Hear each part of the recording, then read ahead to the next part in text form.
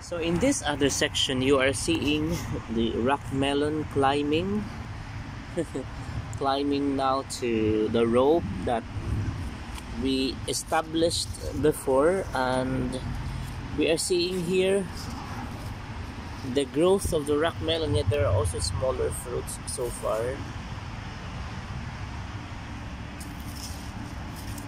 so it started to to give us fruits so far. So the, this portion of the rock melon plantation seemed to be very busy in just giving us foliage. But oh this one promising there is fruit and flowers also. Although that one is actually this one is actually newly transplanted. Oh there is another one here wow there is another one. Let's see if there are still others. Mm -hmm. that one is extending towards the uh, the leaves of the sweet potato here. Okay.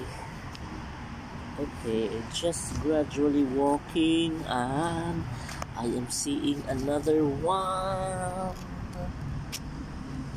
Yes. Uh -huh. Mm -hmm. Okay, let's try to check again. And let's try to have an ocular inspection of our rock melon here. Let's try to see whether it grew already. Then because I saw here before huge rock melon fruit.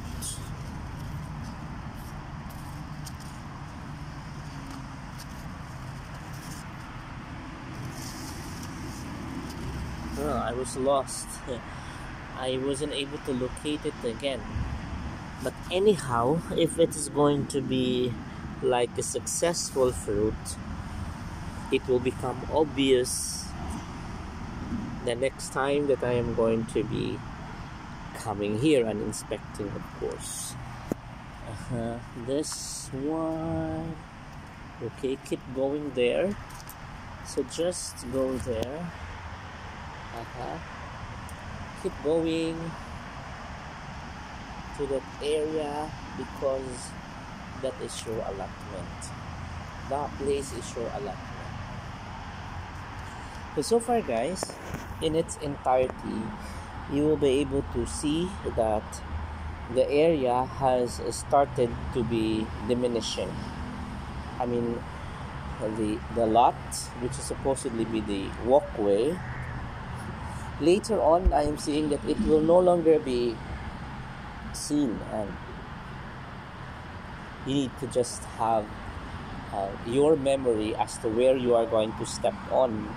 And this is the characteristics really of the rock melon. It's a vine so it will go continuously.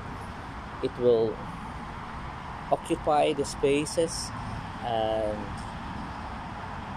perhaps next week with the dynamics and the, the, the average of growth of the rock melon these areas which are supposed to be walking will no longer be available. And we can't blame it because we are watering it and we are inspiring it to grow and we are instructing the rock melon to grow. Instructing really it's natural and it will grow continuously. So we just allow it and uh, naturally even if it cross even to our walkways so be it because that's where they wanted to and that's the pull of gravity. And just just a final instruction for for the rock melon. You should provide plenty of fruits so tomorrow we should invite the bees to come and to pollinate continuously so that the fruits which you are having are going to be fertilized. Thank you, thank you, and thank you guys for watching SAS TV official. It is me talking to my rock melon.